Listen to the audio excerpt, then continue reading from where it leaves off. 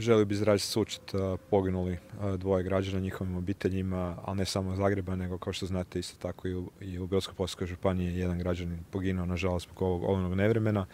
Kako ja moram priznati, ne pamtim. Znači, rođen sam u ovom gradu i ne pamtim da je ikad u ovako 30 minuta de facto toliko štete nastalo, toliko stabala iščupano iz zemlje, toliko krova koji su poletjeli sa više stambenih zgrada, tako da će se šteta sigurno utvrđivati ne danima nego tjednima.